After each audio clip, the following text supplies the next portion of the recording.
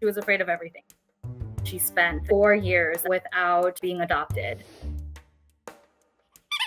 It was important to try and get her out of her comfort zone.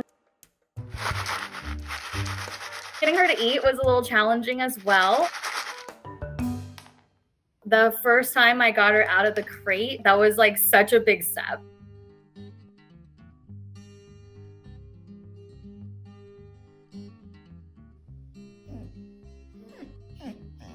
See you want to. Come on. Come. Good girl. Good girl. Come here. What a good girl. Oh, what a sweet girl.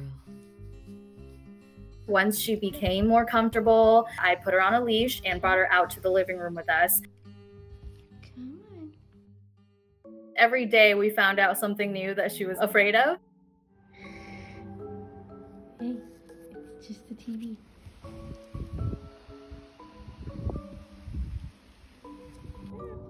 Come here. Oh, come here. Come here, silly girl. Once she became more comfortable, she definitely exhibited sweet, snuggly personality traits. Definitely felt like she was growing all the time Are you exploring? Learning a new bit about life and something else that she could enjoy.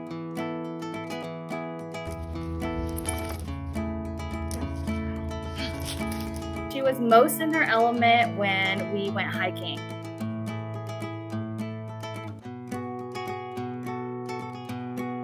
Wagging your tail. Let's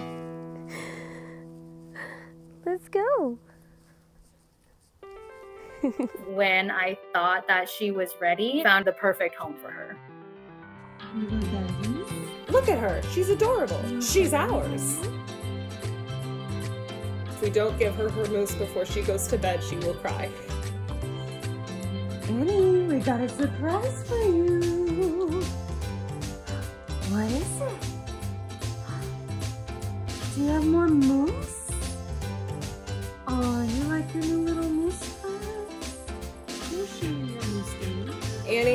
Brightens the home so much. She is home with us.